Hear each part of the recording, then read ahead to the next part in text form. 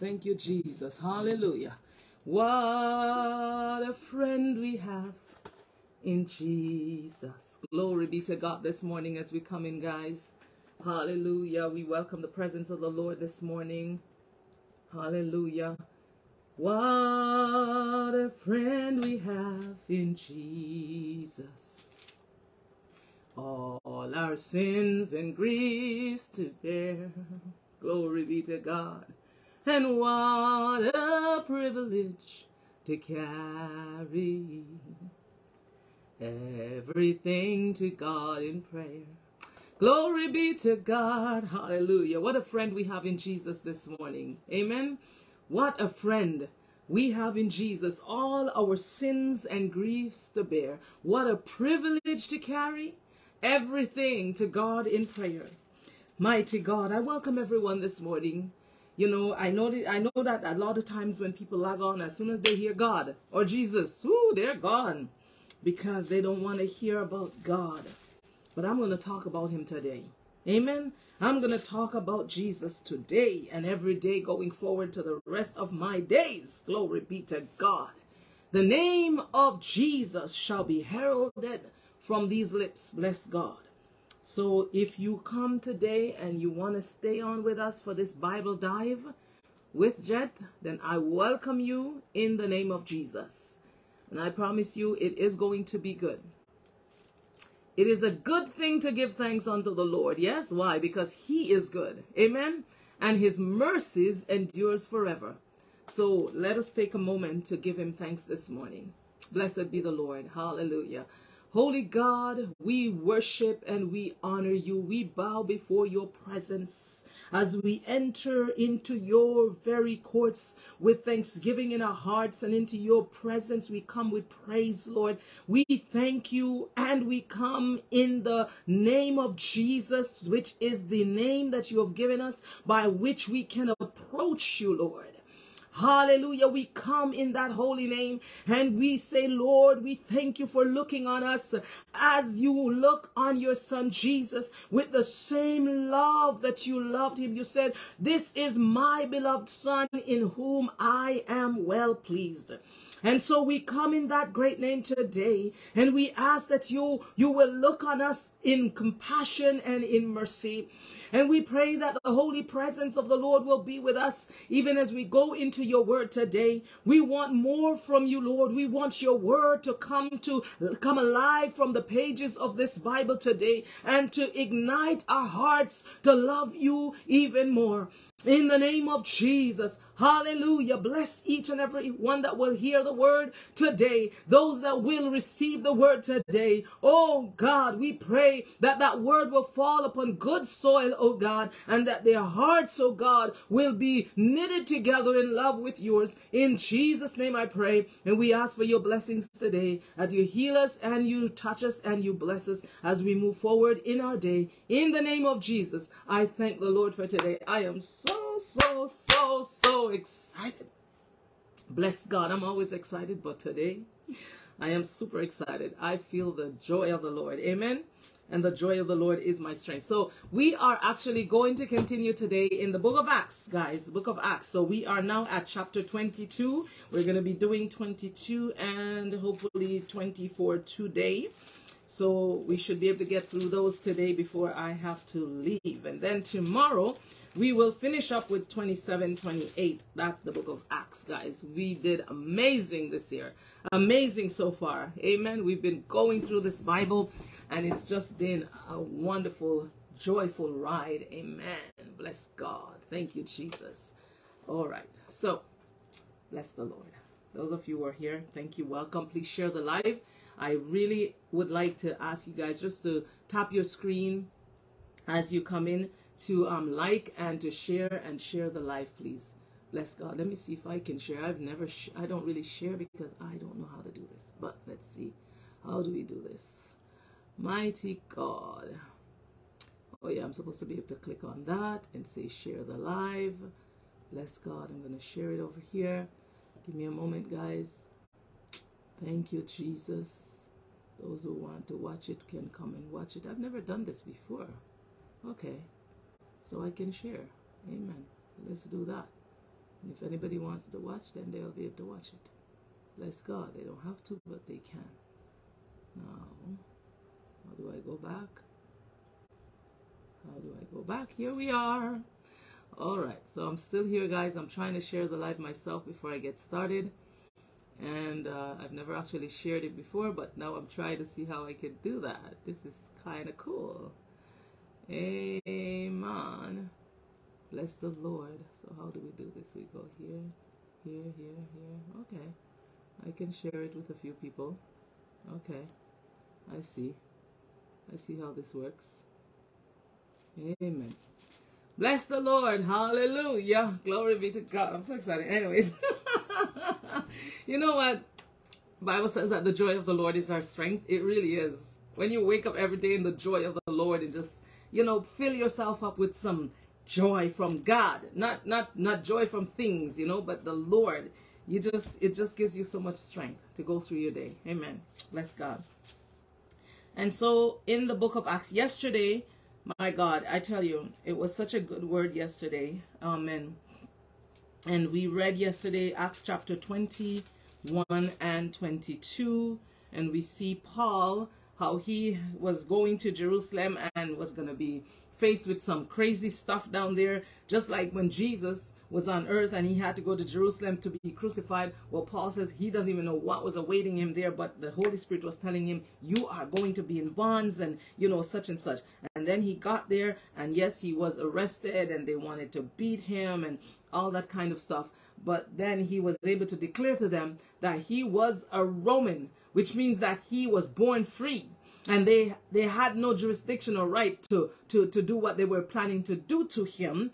And um I was used, telling you guys that we as believers in Jesus Christ, we ourselves, when we were, when we accept this salvation by faith, we are reborn into the kingdom of God and our rebirth gives us that liberty in Christ so that the enemy has no more jurisdiction. He has no more dominion over us. Amen. So that we are free. Problem is that a lot of people don't understand or recognize that they have liberty in Christ, so they continue, you know, living under the oppression of the of, of, of hell, under the oppression of the enemy, living as if they are in bondage. Well, we have been set free by the blood of Jesus Christ, and we need to know that and stand therefore. Having done all to stand, stand therefore in the liberty where Christ has made you free. Be not entangled again. Don't allow yourself to get back wrapped up and entangled in the yoke of bondage once you have been set free. Amen. There's a, a recap from yesterday. So now we are going to continue with first with chapter 23, right? And Paul, earnestly beholding the council, said, Men and brethren, I have lived in all good conscience before God until this day. So let me let me see here. I'm going to go back to chapter 22 and from 30 it says or from 29 then straightway they departed from him which should have examined him and the chief captain also was afraid after he knew that he was a Roman and because he had bound him on the morrow, so the next day, because he would have known the certainty wherefore he was accused of the Jews, he loosed him from his bands and commanded the chief priests and all their council to appear and brought Paul down and set him before him. So now the next day comes and Paul is now brought down and was in front of the council. And Paul, earnestly looking, beholding the council, said, Men and brethren, I have lived in all good conscience before God until this day. So, in essence, he was a man that lived out the law of God, right? So he didn't have anything to reproach himself for. He knew his lifestyle. He knew that he was walking holy and righteously before God. He had his testimony that he was living in all good conscience before God. And the high priest Ananias commanded them that stood by him to smite him on the mouth. So Ananias says, slap him on, on the mouth. How dare he talks about how wonderfully and how great he is, how much he's been living holy. See, the devil doesn't want us to have our testimony, right? The devil, that's exactly what's happening right now. That the, the, the world wants to shut up the Christian, wants to shut us up. What don't want us to have our testimony of, of the liberty that we have in Christ. Don't want us to testify that the fact that we are living a holy life before God, they want us to shut up. So when he testified and said, I have lived, uh, had a good conscience before God until this day, slap him on the mouth. They said to him, smite him. Then said Paul unto him, God shall smite thee. You want to smite me because of my testimony, because I am talking the truth about what God has done in my life. Well, let me tell you something. God is going to smite you. So he says, God shall smite thee, thou white wall, thy whited wall, for sittest thou to judge me after the law, and commandest to me to be smitten contrary to the law. In essence, you you standing here claiming to be somebody who knows the law, and so you want them to smite me. But you're breaking the law in telling them to smite me because I am a Roman citizen free. You have no legal right under the law to smite me. So Paul says you are a whited wall. You know a whited wall? You look at it, it's painted beautiful. It looks good on the outside, but scratch the paint off and see what's underneath that. You understand? So he had a facade, but he was not legit, is what Paul was saying to him. And they that stood by said, Revilest thou God's high priest? Oh, are you talking to the high priest like that? As if like the high priest, you can't, mm, you're not allowed to speak to the high priest like that, right? Revilest thou the high priest? Then said Paul, I wist not, brethren, that he was the high priest, for it is written, Thou shalt not speak evil of the ruler of thy people. So Paul says, Okay, excuse me, I didn't know that he was the high priest. You understand? Sometimes, you know, you, you Paul is like, it's like he ain't acting like a high priest for him to send and say, Smite Paul like that. Paul says, I didn't even know he was the high priest, right? But when Paul perceived that the one part were Sadducees and the other Pharisees, he cried out in the council, Men and brethren, I am a Pharisee. Because he's like, some of the people were Pharisees, others were Sadducees. So he says to them, I am a Pharisee, the son of a Pharisee. Of the hope and resurrection of the dead, I am called in question. Right?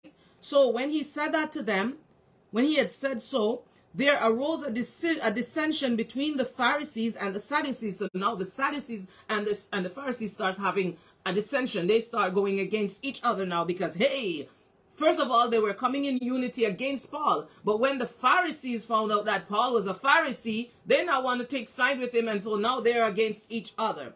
Amen. Let me tell you something. God knows how to turn your enemies against themselves, right? God knows how to fix things in your favor and turn your enemies so that your enemies will become enemies to themselves and destroy themselves. Bless God. I thank God that He knows how to fight my battles for me.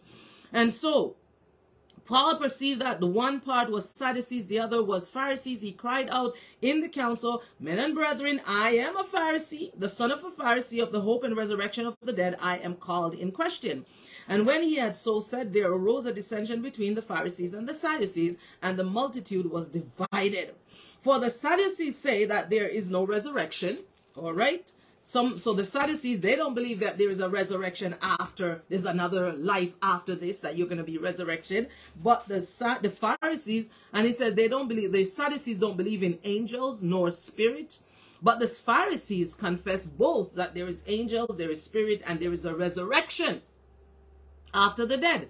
And there arose a great cry, and the scribes that were of the Pharisees part arose and strove, saying, We find no evil in this man, but if a spirit or an angel has spoken to him, let us not fight against him. So now the, they started to fight against each other. Some of them said, Listen, I, the Pharisees are now on his side because he's a Pharisee now. They said, Oh, we don't find any fault in him because they believe in the angels, they believe in spirits, and they believe in uh, afterlife, right? But these guys, the, the Sadducees, don't believe all of that, so now they start fighting each other. And when there arose a great dissension, the chief captain, fearing lest Paul should have been pulled in pieces, now one is pulling Paul here, the other one is pulling him here. They're like, no, we, we want it, you know. So all of a sudden, they're like, oh no, if they continue like this, they're going to tear Paul apart, like they're going to put him in pieces, right? And so they commanded the soldiers to go down and to take him by force from among them and to bring him into the castle. And the night following, the Lord stood by him and said, Be of good cheer, Paul, for as thou hast testified of me in Jerusalem, so must thou bear witness also at Rome. So God, eh, the angel of God comes to encourage Paul, don't worry, you know, things are going to work out in your favor because the fact that the, the, the, way that you testify for me here in Jerusalem, you're going to also have to testify in Rome, which means you won't die in Jerusalem, Paul. You're not going to die in your situation. You're not going to die in the struggle. Glory be to God. Somebody need to throw their hands up and say, I'm not dying in this struggle. Mighty God, hallelujah. Sometimes we're going through some stuff, guys, and it looks like it's the end. It looks like we're never going to make it through this this, this this situation. But God is saying, you will have to testify for me another day. You will have to testify for me next year. You will have to testify for me in another country. You are not going to die in your struggle. Be of good cheer, Paul, for as thou hast testified of me in Jerusalem, so must thou bear witness also at Rome. Glory be to God. Hallelujah. Mighty God, I love that. And when it was day, certain of the Jews banded together and bound themselves under a curse, saying that they would neither eat nor drink till they have killed Paul. Imagine, guys. Imagine this. Paul had a vision where the angel told him, Don't you worry.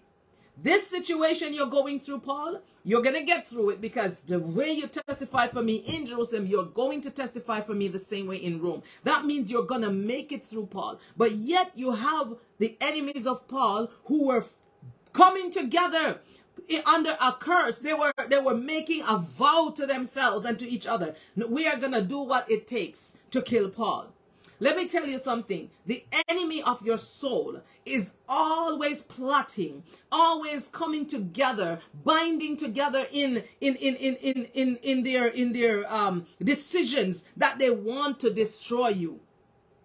Not because God says that you're going to make it through doesn't mean you're not going to go through some struggles because the enemy of your soul is constantly plotting against you. But whose report, mighty God, hallelujah, hallelujah, whose report will you believe? Are you going to believe the report that says, my enemy is too strong for me? My enemy is coming against me and they, they have determined I'm not going to eat, I'm not going to drink, I'm not going to sleep night, day, I'm going to do whatever it takes until I destroy this one. Whose report will you believe? Are you going to believe the report that says that they are going to kill you? Or the report that says, listen here, you're going to make it through this one because you're going to have to testify for me in another place. God's report must always be the report that we cling to. Amen. This is the report that we must believe. You go to the doctor and they tell you one story. We come out and start claiming, oh my God, doctor says I have six months to live. What did Jesus say? What does the word of God say over your life? What does the Lord say concerning your situation? Mighty God, whose report will you believe? I hear the Holy Ghost. And when it was day, so now they banded together and they bound themselves under a curse, a oath, guys. They were like determined that they would neither eat nor drink till they had killed Paul. And they were more than 40 which had made this conspiracy. There were more than 40 which had made this conspiracy hell conspiring against the people of God. Hell coming together in, in, in an oath and conspiring against the people of God. But whose report will you believe? And they came to the chief priests and elders and said, We have bound ourselves under a great curse that we will eat nothing until we have slain Paul. In essence, they were they were taking um what they call that these days where people go on hunger strike. Yeah? hunger strike until the government change such and such. We are not going to eat. And you know what? Eventually the government changes their mind because they don't want a whole bunch of people to die because of them. So people go on a hunger strike all the time. They could be in, in, in, in prison and because they don't want certain things to happen, they said, I'm going on a hunger strike. I'm not eating. They bring the food day after day. They refuse to eat until they change something in their favor. Now therefore, you with the council signify to the chief captain that we bring him down unto you tomorrow as though he you would inquire something more perfectly concerning him and we or and we or ever he come near are ready to kill him. So they're like go we want you guys to tell paul.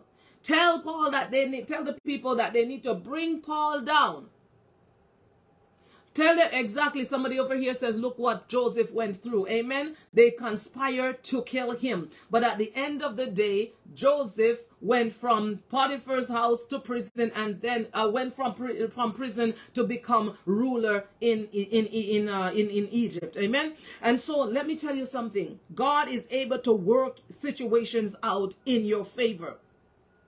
And so now, when Paul, when they came to the chief priests and the elders and said, We have bound ourselves, so we have made a vow that we are not going to eat or drink until this brother Paul is dead. We're not going to eat or drink right? So they said you we need you to to to, to send for paul and, and and signify to the chief captain that he bring him down to you tomorrow. And so we are gonna lay in wait so that when he's coming we can come upon him and we can get rid of him. We will be ready to kill him the enemy sometimes is plotting for your demise, mighty God. But God is plotting for your victory. God has a plan, mighty God. Glory to God. Give me a moment. Glory to God. There's a song, a chorus that the Lord gave me. And sometimes I have to remind myself what God has in store for me when things don't look right. The Lord gave me this chorus when I was going through a rough time. And it says, I, I know God has a plan for me. Yes, I know God has a plan for me. The devil is fighting me. Yes, my enemies are even taking bets, but God has a plan for me. And so sometimes I have to encourage myself with that song because I believe that God has a plan and his plan always is the one that will stand. Amen. And so here these guys were plotting and they want to say, bring Paul down, pretend you're going to ask him some more questions to get a perfect understanding of what he's teaching. This is the, con- the, the connivingness of the enemy. We want you to pretend that you're going to try and investigate more about the, the, you know, what knowledge of the word that he's teaching. We want to know more. And so when you bring him down, we're going to lay in ambush. We're going to set up barracks and ambush against him and we're going to get him. And it says here that when Paul's sister's son heard of their lying in wait, so Paul's nephew heard it that they are lying in wait, he went and entered into the castle and told Paul. Amen. Now then Paul called one of the centurions unto him and said, Bring this young man unto the chief captain, for he hath uh, he hath a certain thing to tell him. So they said, Go and talk to the commander, talk to the chief captain, tell him what you just heard. Right? So he took him and brought him to the chief captain and said, Paul the prisoner called me unto him and prayed me to bring this young man unto thee who hath something to say unto thee. Then the chief captain took him by the hand and went with him aside privately and asked him, What is that that thou hast to tell me? Mighty God. Sometimes God is going to have to, God raise up people on your behalf, even children. My God, that God can raise up and use in a situation. Look at this. This is a young man. This is probably a child that heard these people talking and went and tell his uncle about it. And so he, they called him in and took him by the hand. You know, he's a child when the chief chief captain can hold his hand and lead him and say, Come, tell me, tell me what you heard, right?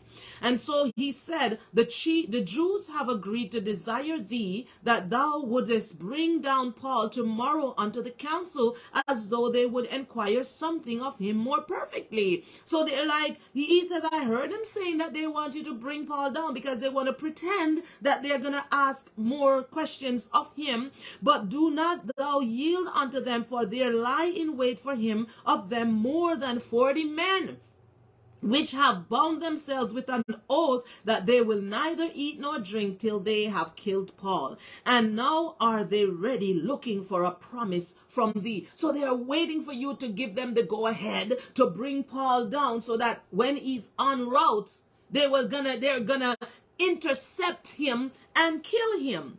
So the chief captain then let the young man depart and charged him, seeing that see thou tell no man that thou hast showed these things to me. Let nobody know that you told me this.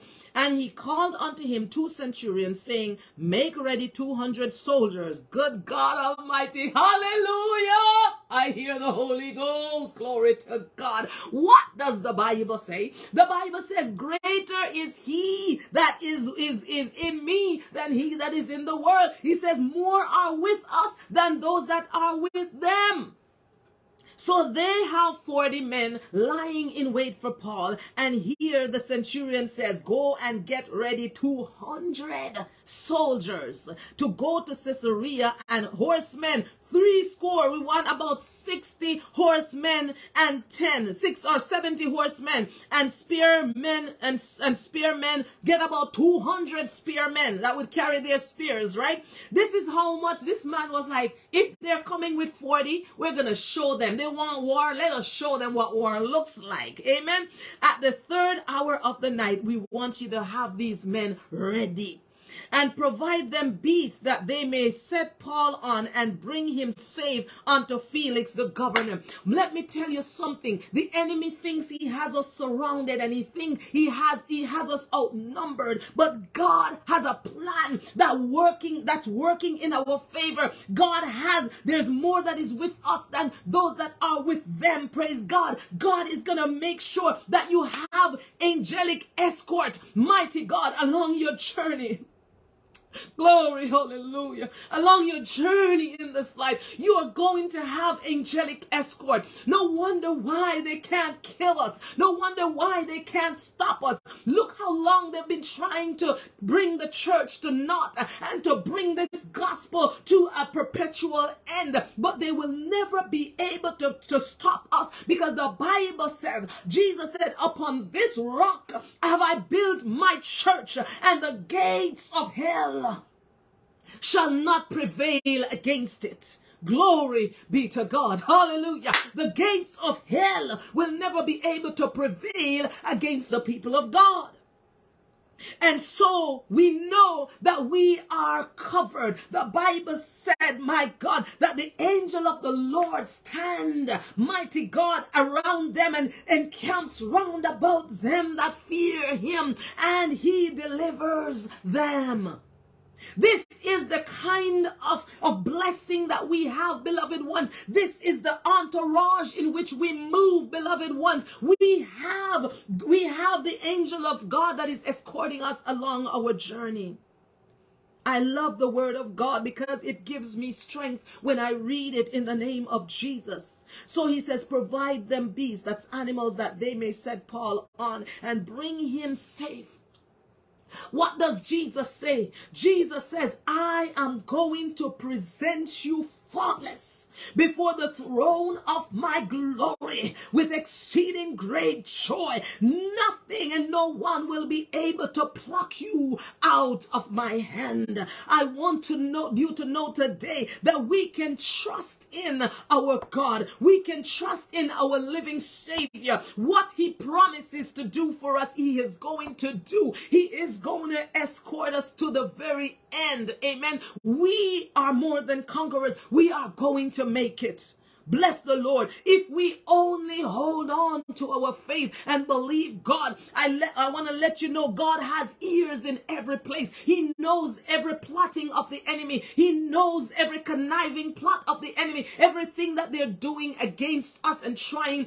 to destroy us. But God has a plan. And he wrote a letter after this manner. Bless God. He says, Claudius Lysias, unto the most excellent governor Felix, sendeth greeting. This man, so God has people in high places. Come on, somebody. Hallelujah.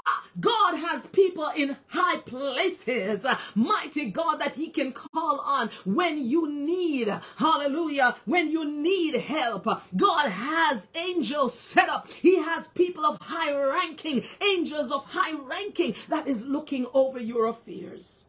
So this man wrote unto the centurion, he wrote unto Claudius, he says, Claudius Lysias, unto the most excellent governor Felix sendeth greeting.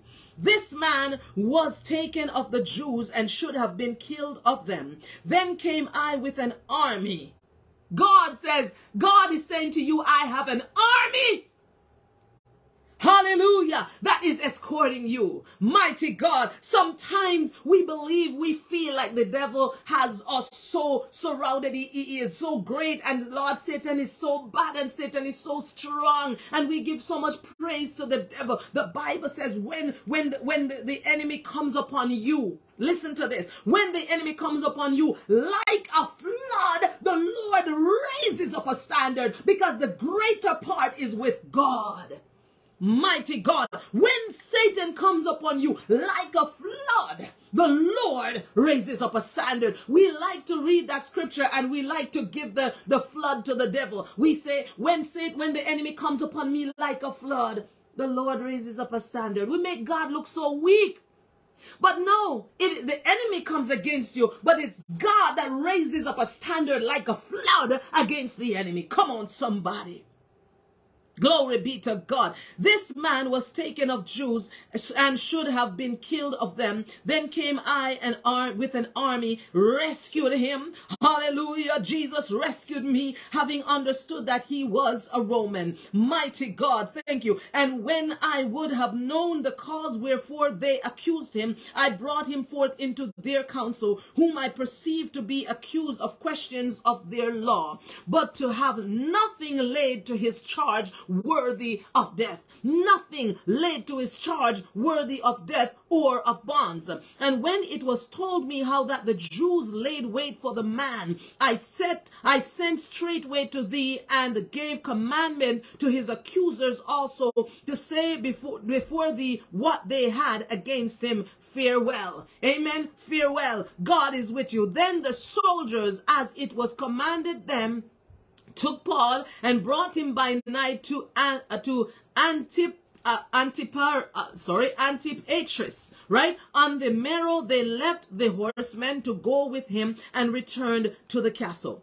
Who, when they came to Caesarea and delivered the epistle of the governor, presented Paul also before him. And when the governor had read the letter, he asked of what province he was, and when he understood that he was of Cilicia, I will hear thee, said he, when thine accusers are also come. And he commanded him to be kept in Herod's judgment hall. So the thing is, he was being kept secured. My God, because you see, when the enemy is trying to plot against you, God is gonna stand in as your defense, mighty God. Hallelujah to God. God is gonna, the enemy will, Satan himself will stand before God and accuse you, but God stands up as your defense. That's why the Bible tells us that Jesus Christ Christ sits at the right hand of God, makes intercession for us.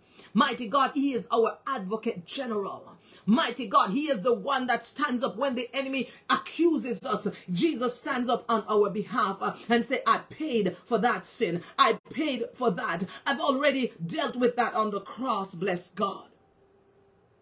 This one is not guilty because I took the punishment for him or her. And after five days, Ananias the high priest descended with the elders and with a certain orator named Tertullus, who informed the governor against Paul. And when he was called for, Tertullus, uh, Tertullus um, began to accuse him, saying, Seeing that by thee we enjoy great quietness, and that very worthy deeds are done unto this nation by thy providence. So he's now praising the governor. And he says, We accept it always and in all places, most noble Felix, with all thanks thankfulness. So they are praising this Felix and calling him noble and how much they accept all that he's done and they're thankful. But they said, Notwithstanding that I be not further tedious unto thee, I pray thee that thou wouldest hear us of thy clemency a few words. For we have found this man a pestilent fellow. They're calling Paul a pestilence. You understand? That's why that's how the world views the Christians, eh? That's how they view us. We're like we're like ticks in their bodies, man. Every we we, we, we, make them uneasy right? We're like ticks, we're like pestilence to them. They don't want to hear the truth. It makes them uh, when they hear that truth. Bless God. And a mover of sedition among all the Jews throughout the world, and a ringleader of the sect of the Nazarenes. So they're accusing him of all these things. Who also have gone about to profane the temple whom we took and would have judged according to our law. So, in essence, we would have killed him because the law says if you profane the temple, then we should kill you. But the chief captain Lys- Lys- Lysias came upon us and with great violence took him away out of our hands. mighty God commanding. You know what? It makes me laugh because they said this this um that the, the governor took Paul with great violence. You know what? That's what Jesus did for us, guys. Did not Jesus take us out of hell with great violence? Jesus endured violence. But when he got into hell, you know, you understand that Jesus was not weak and broken and, and, and, and, you know, incapable in hell. When he got down there, the Bible says he walked up before that dragon and he, he, he fought with them in hell. He overcame them and he snatched the keys of death and hell. Jesus took back what belonged to us with great violence. Jesus took us back out of hell with great violence. Glory be to God. My salvation didn't come cheap. And that's why we shouldn't cheapen our salvation. We shouldn't we shouldn't water it down. We shouldn't walk around and and and you know play small play small because we want people to be okay with us. We have to know who we are in Christ. Glory be to God. The sister says, yes, we have to know, glory to God, who we are in Christ. This salvation, the Bible said, the Bible said, mighty God, that you have been bought with a price. When it says that, it means it was no small price. It wasn't a penny. You, Jesus didn't pay cheap for your salvation. You were bought with a price. There was a heavy price tag on your head. You were bought with a price, not with corruptible things as silver and gold, but with the precious blood of Jesus Christ. You are something special, children of God.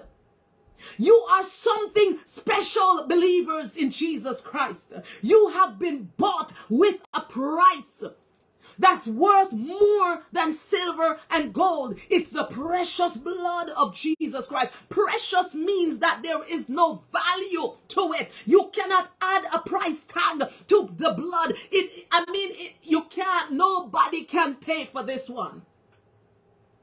I mean, let me tell you something. Nobody can pay for this. Nobody can pay for this. That's why salvation is free. The grace of God. Because if we were ever supposed to pay for our salvation, we couldn't afford it. That's why blessed are the poor in spirit, for they shall see God. When you didn't have nothing to pay for your salvation, but Jesus paid it all, and you just have to walk up and accept it by faith. Mighty God, blessed are the poor in spirit, for they shall see God. But the ones who think that they have something to pay, Therefore, they can do something good to make heaven. They, they, they can live a certain way and make They can give to charity and make heaven. Those are the ones that are in trouble, beloved ones. They cannot see God because there is no other way to get to heaven. You cannot pay your own way there. Mighty God of Daniel, thank you, Jesus. Hallelujah to God. I don't even remember where I was, but this is so amazing. So he says that the chief captain Lysias came upon us and with great violence took him away out of our hands. Our God delivered us out of the pit of hell with great violence mighty God with great violence. He was not, the Bible says the kingdom of God suffers violence, but the violent took it by force. The violent takes it by force. Jesus Christ, more violent than that old dragon, went into hell after Satan thought he had poured out everything that he could upon Jesus. Mighty God, when he laid down his life for himself, he went down into hell and with great violence, he took it Mighty God, took back my victory, took back my dominion. Mighty God, took back my purpose, took back my anointing, took it back from that dragon, took back the key of death and hell, and rose in victory. I love the word this morning. Commanding his accusers to come unto thee by examining of whom thyself mayest take knowledge of all these things whereof we accuse him. So he says, if you examine Paul, you will see that he, what, he is guilty of everything that we are accusing him of. And the Jews also assented, saying that these things were so. Then Paul, after that the governor had beckoned unto him to speak, answered, For as much as I know that thou hast been of many years a judge. So Paul is addressing the is addressing the governor, telling him that I know that you have been a judge for many years unto this nation. I do the more cheerfully answer for myself. I am I am more than excited to answer you for myself because that thou mayest understand that there are yet but 12 days since I went up to Jerusalem for to worship. I've only been there 12, 12 days. 12 days now that I've been there to worship. And they neither found me in the temple disputing, with any man, neither raising up the people, neither in the synagogues nor in the city. None of this happened in the last 12 days that I was there. Neither can they prove the things whereof they now accuse me. But this I confess unto thee, that after the way which they call heresy, here, see, so worship I the God of my fathers, believing all things which are written in the law and in the prophets. Everything that I've been doing, I am doing according to the book. I am re- I'm worshiping God according to the law as is written by the prophets, and yet they call it hearsay. Hearsay, right? Heresy. I guess that's how you pronounce it. And have hope toward God, which they themselves also allow right? I have hope towards God and it's okay. The Bible tells us that hope makes not ashamed, right? And he says, and have hope toward God, which they themselves also allow, that there shall be a resurrection of the dead. I believe that there is going to be a resurrection of the dead, both of the just and the unjust. Amen, guys. Remember this? When we all die, the Bible says we shall not all sleep, but we all shall be changed. Amen. There is going to be a judgment, a resurrection. Some people will rise to, to eternal damnation because they did not accept the free gift of Jesus Christ on this side of life others who have accepted Jesus' free gift of life, they will rise into eternal life. Amen. So there is going to be a resurrection of the dead, both of the just and of the unjust. How are we made just? We are made just by faith. For the Bible says, For you are justified by faith. Amen. Not by works of the law, not by works, lest any man should boast. It is a gift of God. And herein do I exercise myself to have always a conscience void of offense toward God and toward men. Paul was telling them, I live my life in such a way that I do not offend man or God. Everything I do is to keep myself on the right path. I do everything that is in line with the righteousness of God. So I should not be an offense to God or to man. Now, after many years, he says, I came to bring alms to my nation and offerings. This is why I came to Jerusalem. I was here to bring some help. I came to offer help to the nation and to bring my offerings. Whereupon certain Jews from Asia found me purified I was going through that seven day of purification, purified in the temple, neither with multitude. I was alone. I wasn't with alone, nor with a tumult. I didn't have a crowd.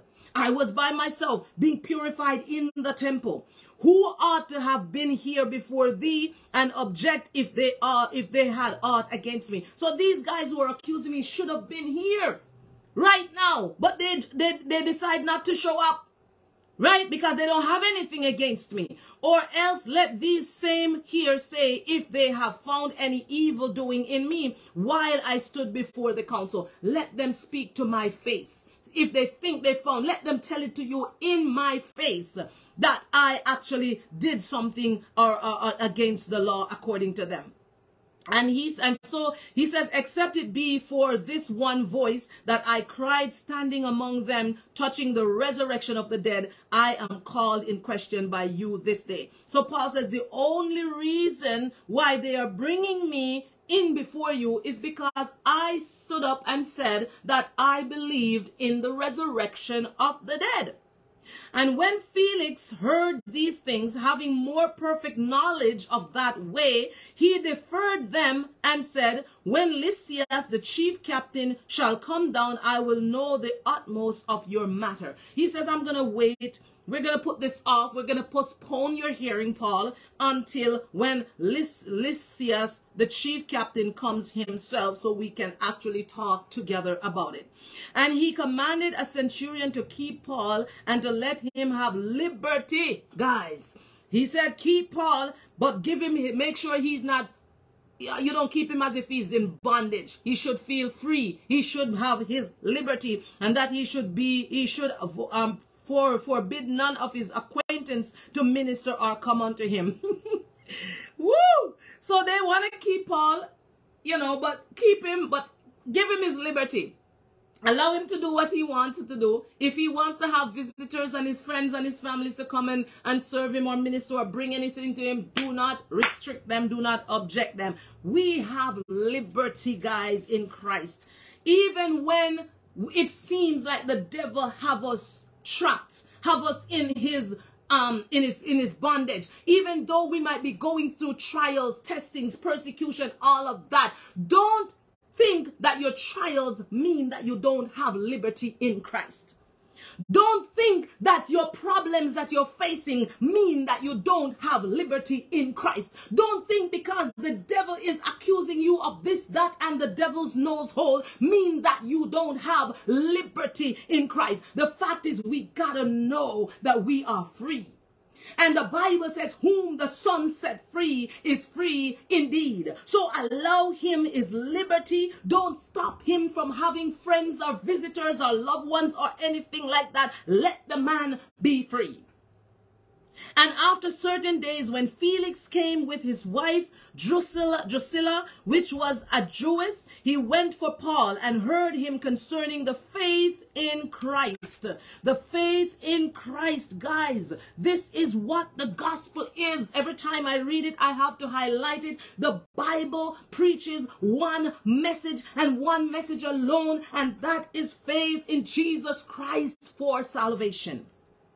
And as he, oh, glory to God, hallelujah. Mighty God, hallelujah. Hallelujah. Hallelujah, mighty God. I just get a spirit of, of gratefulness, guys. Hallelujah. a spirit of gratefulness that I was born into the salvation by faith. That when God comes to me, it was, I got the truth. I got the knowledge of the true revelation that Jesus is our salvation, that we must have faith in Christ to be saved.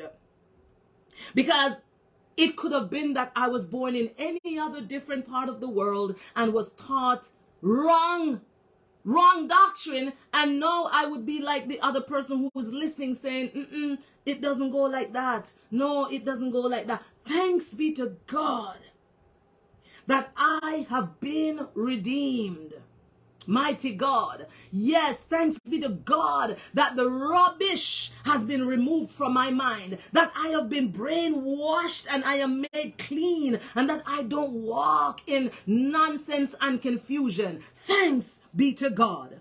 Hallelujah to Jesus. And as he reasons, as he reasoned of righteousness, temperance, and judgment to come, Felix trembled and answered, Go thy way for this time. When I have a convenient season, I will call for thee.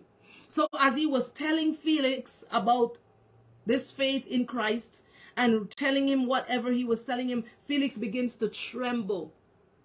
Felix begins to tremble. And all of a sudden, he was as he reasoned of righteousness. This is what is getting the world in a in a tizzy. This is what is getting the unbelievers all messed up. And all of a sudden they don't want to hear about God and oh all this talk about righteousness and holiness and Jesus. It makes their skin crawl.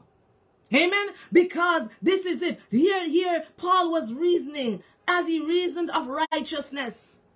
Has he reasoned of temperance? Nobody wants to be temperate this day, these days. They want to just go out there and do everything and anything that they want. Live any and any kind of lifestyle. Be dirty as much as they want. Be filthy as much as they want. Be ungodly and unrighteous as much as they want. They don't want temperance as he begins to reason with him about judgment, the judgment to come. Nobody wants to hear that message about judgment when Jesus is going to return and when God is going to judge the world, both the quick and the dead, and every man will have to give an account for his sins. They don't want to hear this kind of message. And so in verse 25, we see the same spirit at work where Felix was like, he starts to tremble he starts to tremble. He does not, it, it, it shook him up.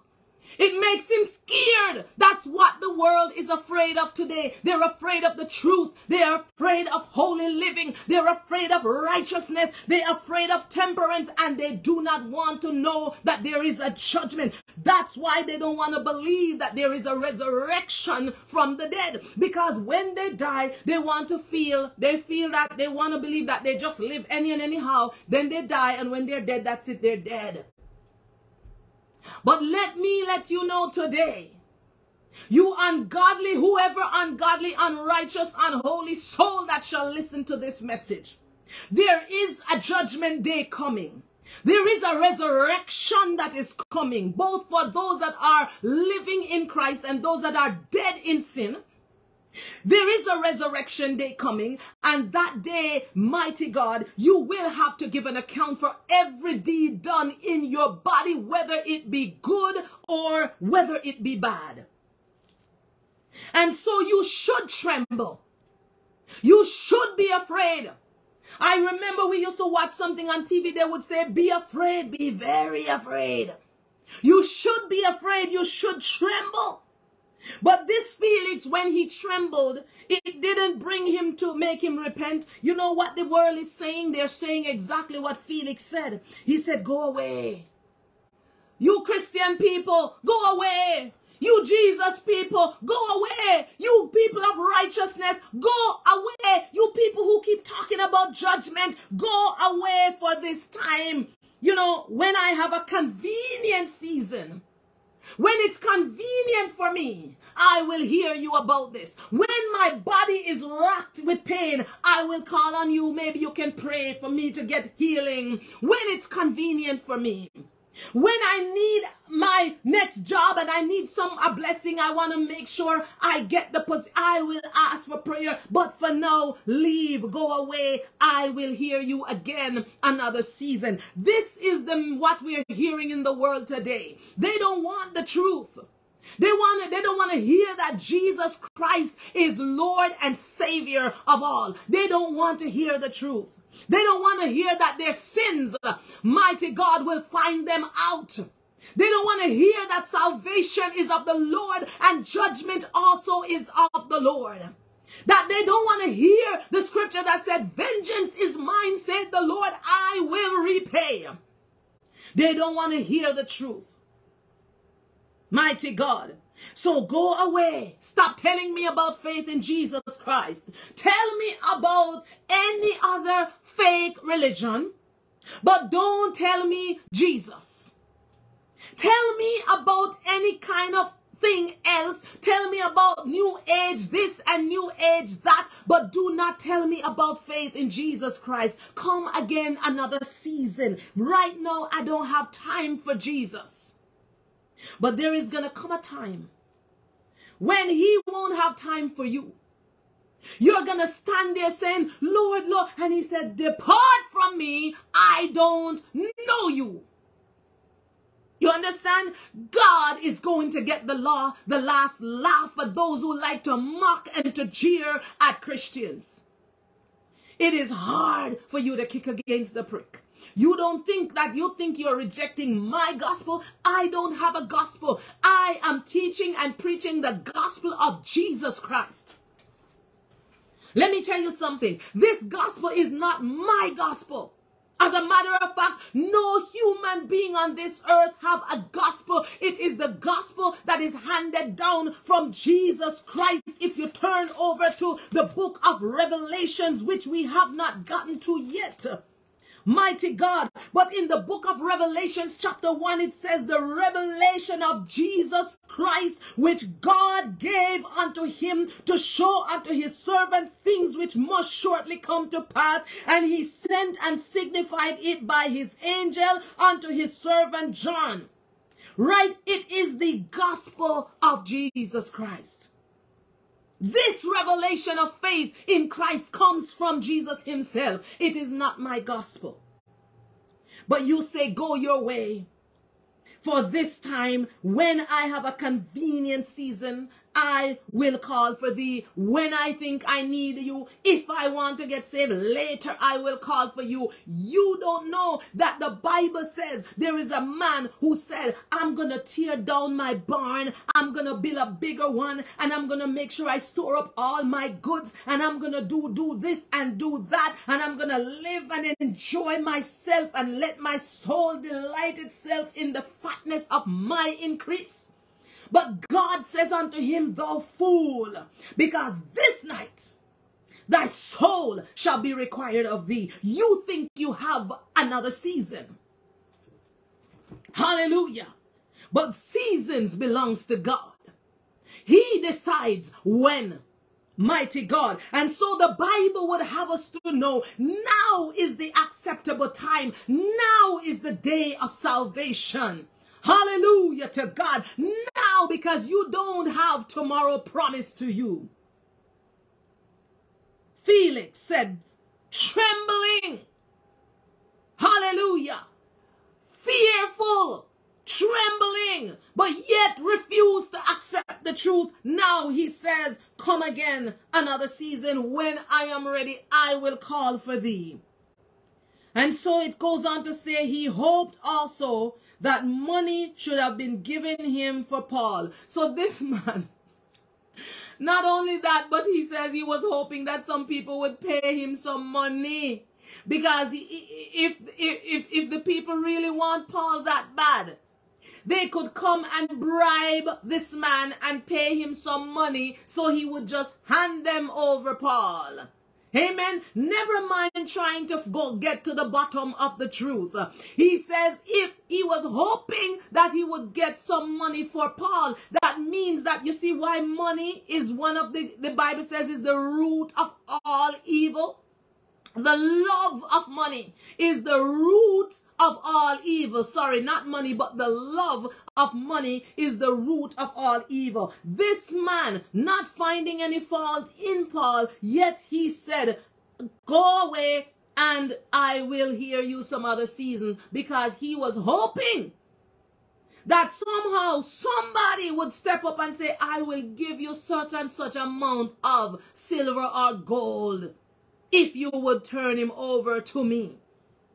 That is exactly what Judas did. Judas went and took 30 pieces of silver just to, and so he would um, turn uh, Jesus over to, the, to, to, to, to be crucified. Amen. Because the love of money is the root of all evil. People don't want God because they will rather sell God out for money. Amen. And for stuff and for things. Because they don't understand the value of Christ in their lives.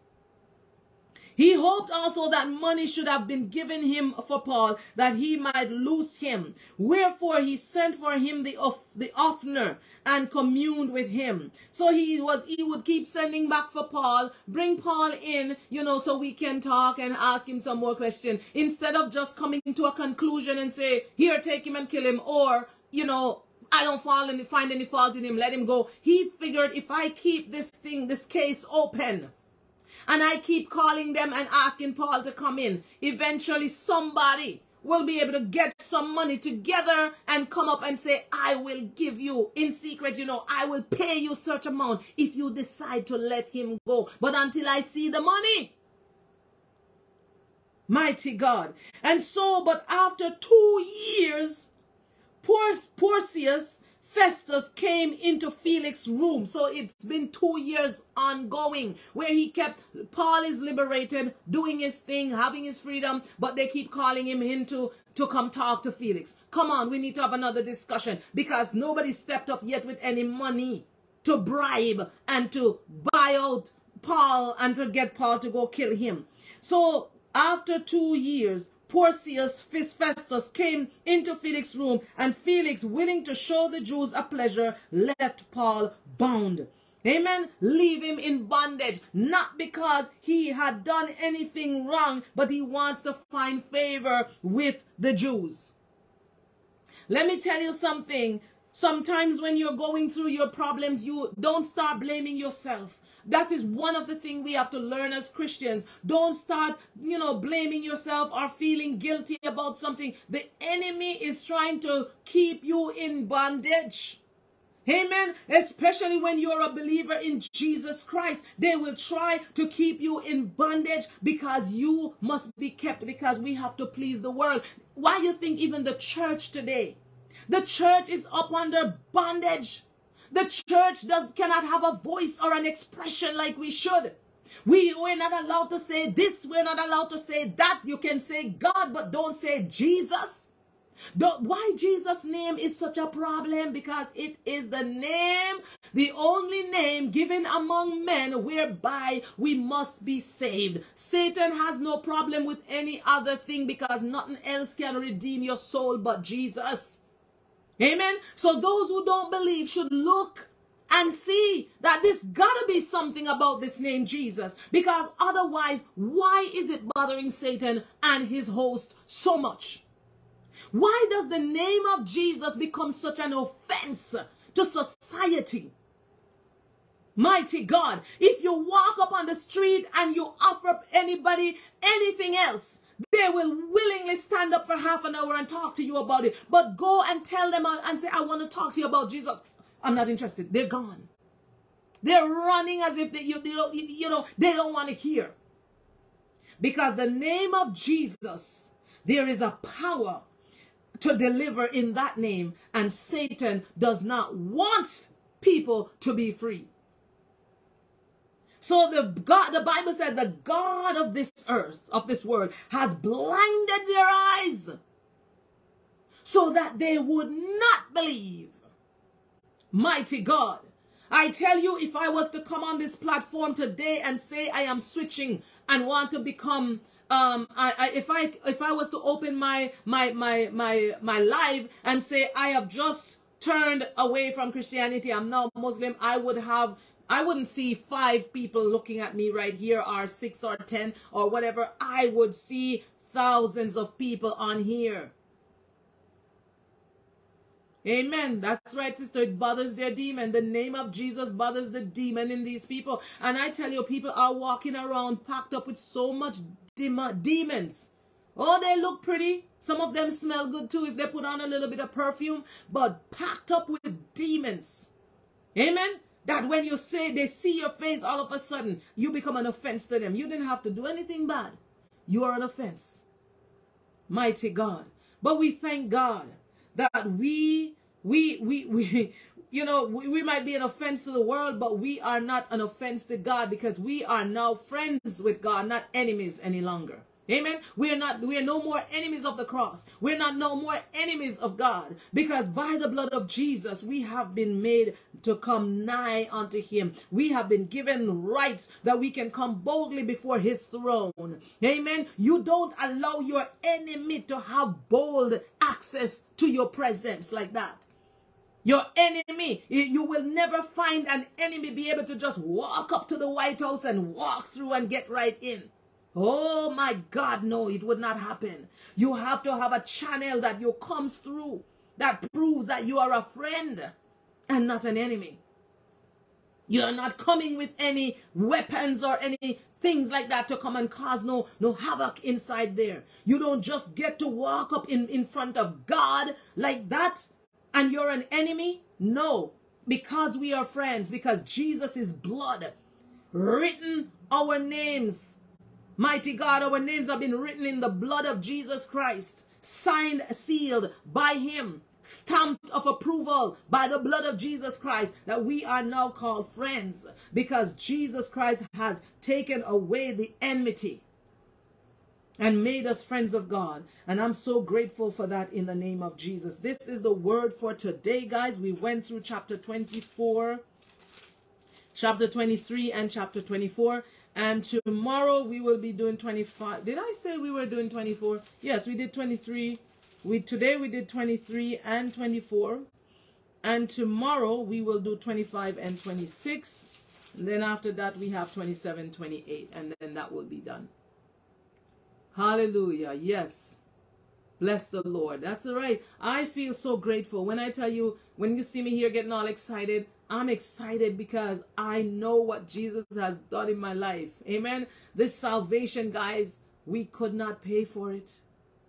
Trust me, there you know, you know, there times there has been times when I could hardly pay my rent every month. Needless to say, pay for my salvation.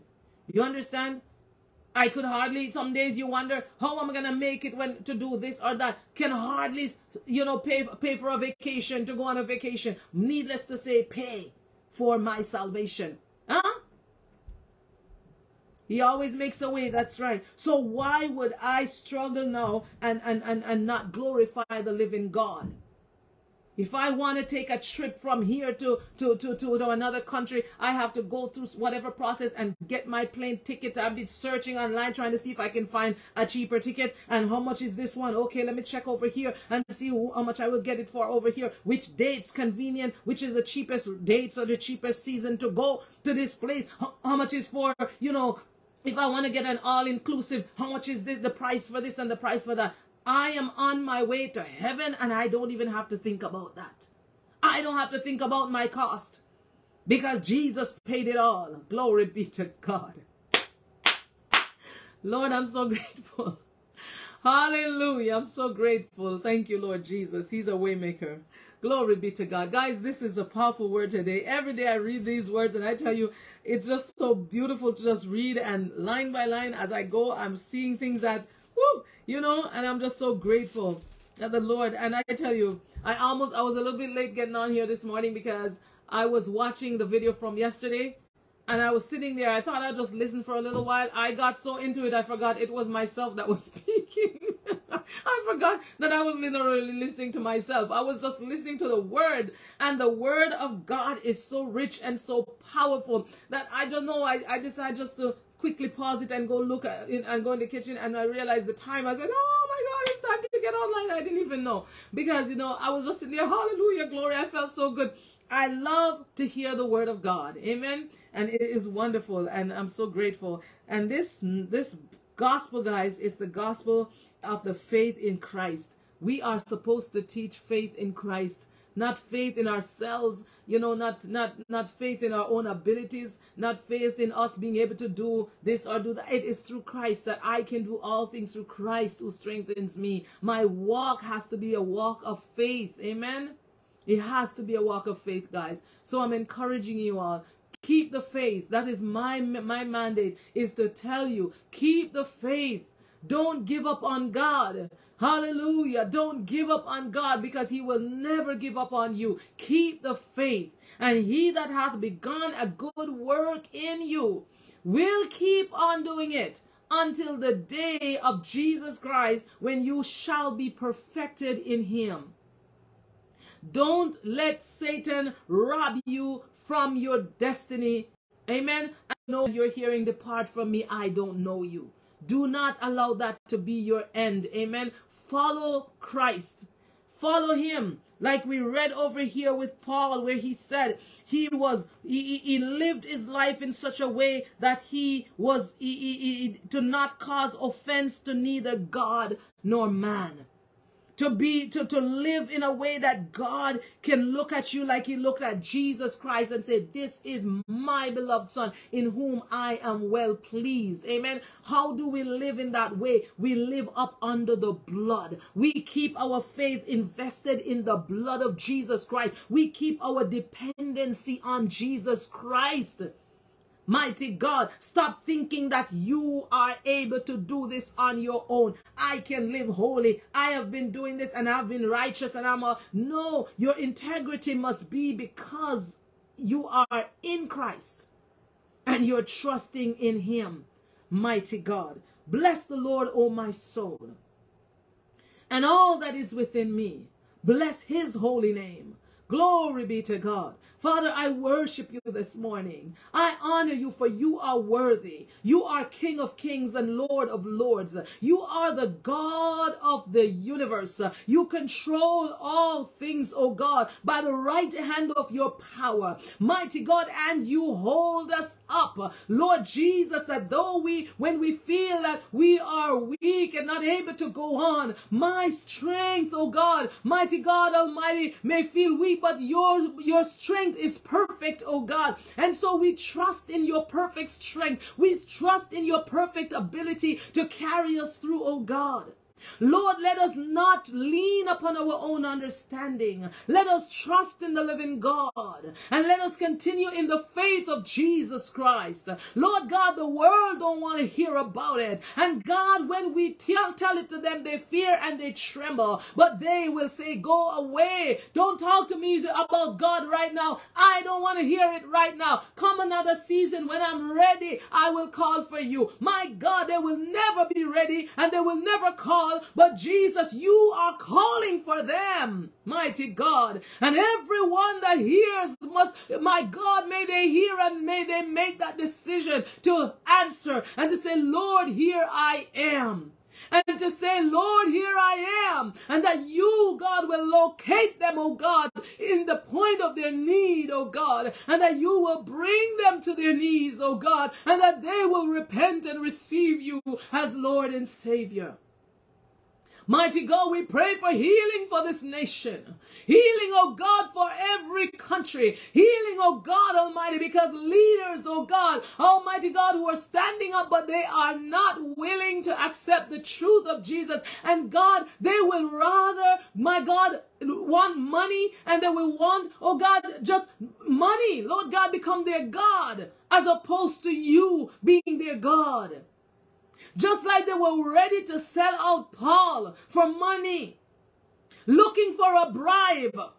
Mighty God, so they are willing to throw us, the Christians, under the bus, Lord. Mighty God, because the, the, the, the world and the sinful man may be able to pay money, my God, they get the positions in life and they get the broadcast. My God, they get the notoriety and the government and everybody is on their side pushing their agendas. But the agenda of the kingdom of God, they don't want to hear. They are willing to throw us, the Christians, under the bus. But Lord, we stand flat footed for you, Lord. We stand steadfast in the faith, oh God. God, we push forward in the grace of the Almighty God. Father, cause souls to be saved, cause souls to be born for the kingdom of God. Let them turn from their wicked and their evil ways. Let them seek the righteousness of God. In the name of Jesus, I pray for those souls that you have pre-selected and preordained unto eternal life. May they come to you, God. May they not wait until they hear too late, my God. May they turn, oh God, to you. In the name of Jesus, expedite it, Lord. We pray for a revival in our countries. We pray for a revival in the world, oh God. We pray for a revival and a breakthrough, oh God, in the world that righteousness, oh God, will rain down down, oh God, like rivers, oh God, in our streets, oh God, that holiness, oh God Almighty, will be our watchword and our song. Heko Shama. Mighty God, hallelujah. In the name of Jesus, holiness unto the Lord, we pray in Jesus' name.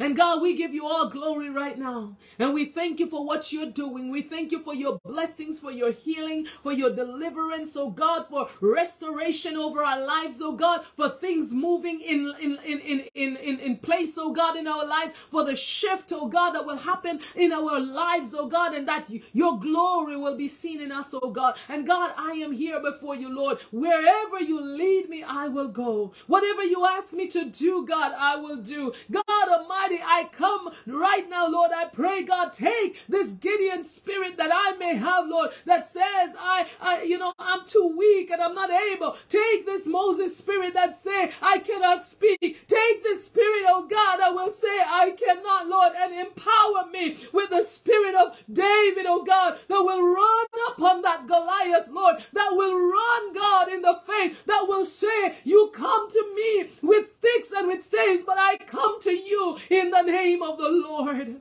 Put upon us a spirit of boldness in this season, oh God, that we will not be moved, that we will not back down, that we will not yield, oh God, to sin or to no man, but we will be yielded to the Spirit of God. And where the Spirit of the Lord is, there is liberty. We will move in the liberty of your Spirit, God, to declare, Thus saith the Lord, in the name of Jesus. This I pray right now, Lord, and I pray it over every individual under the sound of my voice, God, a spirit spirit of boldness in this season, oh God. We pray this in Jesus' name. And I say thank you, Lord, for you are worthy. Hallelujah. God bless you guys as you go in the name of the Lord. Hallelujah. No weapon, again, that is formed against you shall prosper. Every tongue that rises in judgment, Echo Shama, you have the power in your mouth to condemn in Jesus' name. You are the righteousness of God. Your identity is in, is in Christ in Jesus' name. Hallelujah. You are who God says that you are. Stand up, therefore, and stand fast in the liberty, and let no man take your crown. Let no man take your crown. In Jesus' name, let no man take your crown. I pray this in the name of the Lord. Hallelujah.